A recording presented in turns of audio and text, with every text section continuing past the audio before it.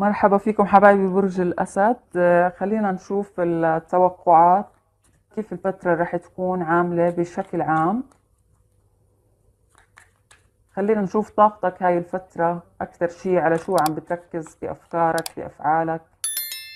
وقعت لحالها والله. نفس الورقة اللي قبل شوي. رح يكون أكثر شيء العاطفة شغالة عندك. رح تكون فترة رومانسية بامتياز. في رجوع لشخص. أو خلينا نقول تطور في العلاقة العاطفية في أمور رح ترجع لمجاريها. في أكثر من أمنية في الحب. عم بتصير. في انتصار في هذا في هاي العلاقة. فهذا الكرت طلع لك عاطفي مع إنه يعني عادة بطلع بشكل عام. خلينا نشوف إذا التوقعات بشكل عام لهاي الفترة للأسد. طبعا هاي قراءة عامة حبايبي ممكن تنطبق على آه، جزء وجزء لا فعادي جدا إذا ما انطبقت عليك. حلو جدا الورق وكتير عجبني. آه، بالنسبة للشهر الماضي ما كان هالقد برج الأسد لكن هاي الفترة أنا شايفتها رح تكون كتير حلوة. شايفة عندك أول شي تصفية حسابات في أول الأيام من هاي الفترة يعني يمكن تكون أول أسبوع من الفترة اللي قلنا عنها. رح تكون تصفية آه، حسابات في كان آه، صراع آه، بينك وبين أشخاص ولكن عم بشوفك تكون عم بتكون صارم جدا مع هذا الشخص. عم تعطيه اللي هو الدواء. يعني عم عم بتداويه بالطريقة بالتي هي أحسن خلينا نقول. آه، عم تعطيه حجمه عم تعطيه اللي بيستاهله مش أكثر آه، شايفة في تغير بشخصيتك يا برج الأسد. عم بتحاول تشتغل على نقاط الضعف اللي عندك إياها والطاقات السلبية اللي جواتك وعم بتحاول تغيرها. يعني كتير حلو إنه أشوف هذا الإشي بالورق. نادرا ما بشوفه. إنه عم بتحاول تغير بشخصيتك وعم تنجح. خاصة إنه ورقة برجك يعني كمان مبينة. فكتير عم بشوف فيه في سعادة عجلة الحظ عم بتكون معك هذا الشهر. فيعني استغلها ما بتعرف بالأشهر اللي بعدها شو رح يصير. فاستغل هاي ال ال ال خلينا نقول عجلة الحظ. عم بشوف كمان في هذا الكرت اللي هو عم بتلف اللفة عم حدا ظلمك انت عم تاخد آه، حقك. زي ما قلنا هون في صراعات مع شخص ممكن يكون آه، ظلمك. نهاية لعلاقة ثلاثية. في علاقة ثلاثية هذا الكرت طلع مقلوب. من بعد ما انجرحت من أشخاص أو من شخص ثالث من طرف ثالث كان داخل بالعلاقة العاطفية. عم بشوفك يعني عم بشوف هاي العلاقة منتهية أو في انتصار عليها. عم بشوف هون كارما عم تاخد آه، حقك أكثر شيء ممكن يكون في العمل طبعا وعم تاخد حقك في أكثر من كرت. يعني شوف كرتين فيهم جاستس وكرتين فيهم كارما آه، بالنسبة للطاقات قبل ما أنسى آه، اللي هي هوائية أكثريتها في نارية. والله هوائية بامتياز وفي مائية أوكي؟ في ميزان. بعدين مع الميزان عم يطلع لي كل شوي. في أسد حبايبي. في علاقة شوف ثلاثية. مليون في المية رح تنتهي. الكرتين طلعوا مقلوبين. كروت العلاقات الثلاثية. إيه هذا الشخص الشخص الشريك أو خلينا نقول الشريك. عم بيكون عنده بعد نظر عم بيفكر بحياتكم ب خلينا نقول بالخطوات القادمة. هو ما إذا كنتوا أنتم منفصلين أو كذا ما عم بيفكر بصغائر الأمور بالزعل بالبلوك بهاي الأشياء الفاضية. هو عم بفكر لأكثر من هيك عم بفكر للارتباط عم بفكر حتى إنه ممكن إنه تسافروا مع بعض آه، عم بختارك وبترك الطرف الثالث زي ما قلنا. آه، عم تنتهي عندك فترة الإحباط أو الانطواء أو الصراع النفسي.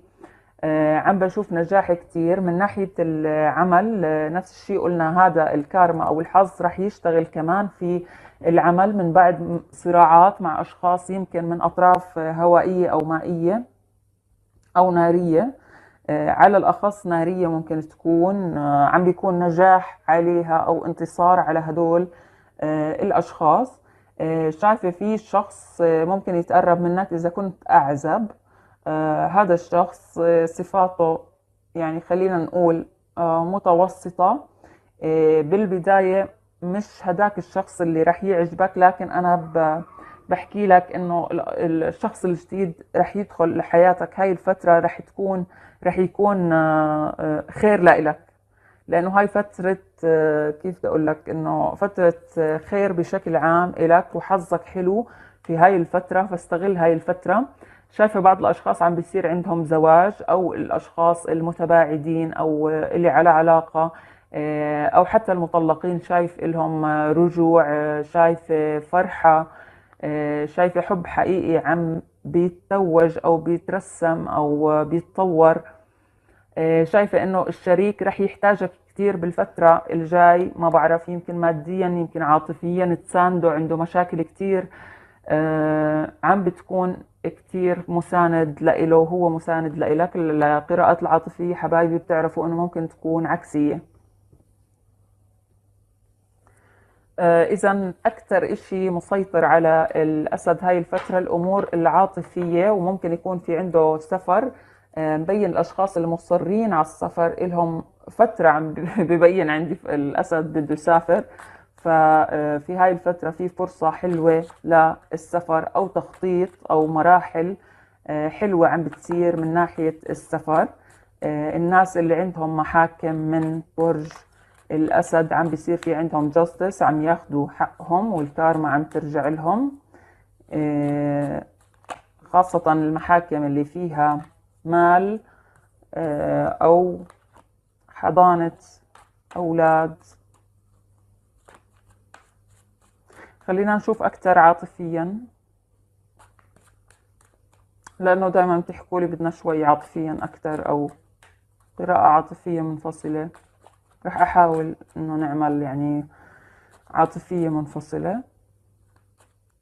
شوف حبيبي برج الأسد عم بتكون كتير مبسوط نتيجة الأمور اللي صارت. في عندك ال... يعني في في أمور رح تصير أو اكشنز أو أحداث في العلاقة العاطفية رح تكون كثير مبسوط عم تتفرج.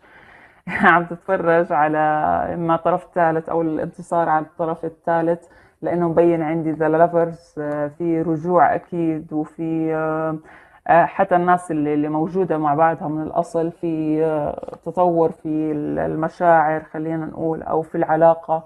ولكن في طرف ثالث عم بيكون مش متواجد ولكن عم بيراقب مش عاجبه هذا الطرف الثالث. شايف الشريك طبعا بالعلاقات العاطفية بضلني أرجع أقول إنه ممكن تكون عكسية. آه، الشخص آه، أنت أو الشخص الآخر ممكن إنه يعني شايفيتكم حتى الاثنين مندفعين آه، ناحية بعض. في نهاية لطرف ثالث ذا لطرف ثالث مع إنه عم بيحاول بشتى الوسائل إنه ينتصر ولكن شايف ينصر بهاي الفترة على هذا الطرف الثالث. المال بين عنا حتى بالقراءة العاطفية فهذا بيكون آه، في وفرة مالية حلوة كتير لبرج الأسد. النساء آه، من برج الأسد عم بشوف عملية تجميل عم بتمر على خير وعم آه، بتكون ناجحة كتير. في مال رح يجيك إما من ترقية في العمل أو من عمل إضافي أو حتى فرصة عمل جديدة. هاي المشكلة اللي أنا قلت عنها اللي راح تصير عند الطرف الثالث وراح تنتصر عليه. فالطرف الثالث ما راح ينتهي بسهولة راح ينتهي نتيجة مشكلة كبيرة نتيجة موضوع كبير. راح ينفضح راح في أمور هو كان يعملها مبين هون أمور ممكن تكون أعمال وشغلات. آه، هو السبب كان في خذلانك بالفترة الماضية أو كان منتصر عليك والآن أنت عم تنتصر عليه شايفة أكثر شيء.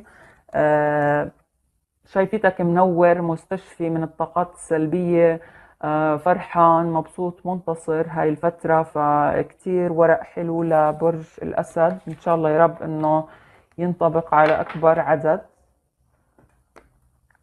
خلينا نشوف إذا في تحذيرات أو شيء بهذا الورق.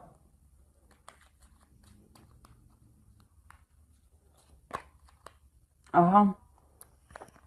عم بشوفك آه، عم بشوفك برج الأسد معك مفتاح. مفتاح بيت مفتاح قلب الحبيب.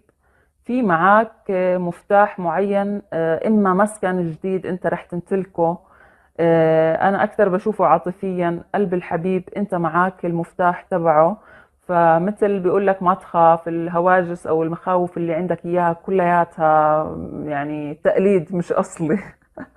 فما تخاف انت يعني القلب الحبيب معك وانت مالكه فما يعني ما تخاف من الأمور اللي عم بتصير لأنها أمور مؤقتة خلينا نقول والحبيب شفته بالورق عم بتغير عم بيحاول إنه يوازن فلا شايفة إنه الأمور العاطفية على أتم وجه. كمان بالعمل الورق كان حلو كان في انتصار فنكون متفائلين هاي الفترة لأنه الأسد له فترة هو سوداوي شوي أو متشائم خلينا نقول ومعاه حق. يعني هو من بداية السنة كانت تصير معاه شغلات شوي متعبة طعنات من أشخاص. آه سيلفورث. بقول لك حب حالك يا حبيبي. بقول لك انت بتستحق الأفضل انت بتستحق أفضل ما انت آه، عليه يعني آه، فاعطي لحالك قيمة اهتم بحالك أكثر من جوا أنا عم بقول من برا طبعا الأسد معروف بالتألق والأناقة والكذا آه، بس أنا عم بقول من جوا من جوا أكثر حب حالك مش الموضوع ما في أنانية أو كذا بيقول لك انت بتستحق الافضل اختار الاشخاص الافضل. آه، استغني عن الاشخاص اللي مش اللي هم سامين في حياتك. فحاول تكون آه، عقلاني شوي بكفي آه، يعني نفكر كتير بقلبنا وننسى موضوع العقل. عفوا.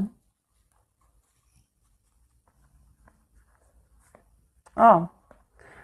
في شخص عم بيراقبك كتير بشكل مش طبيعي بحب بشغف آه، عم بيمثل إنه هو ما بده إياك أو بده يبعد أو كذا بس هو عم بيراقب من ورا لورا. فيعني شيء كتير حلو بقول لك بقول لك إن هون إنه كثير أنت قوي وراح تكون قوي في الفترة الجاي راح تكون الأمور آه، زمامها في إيدك أنت مش على العكس زي ما كانت آه، ب بإيد الأطراف الأخرى. بهاي الفترة راح تكون آه،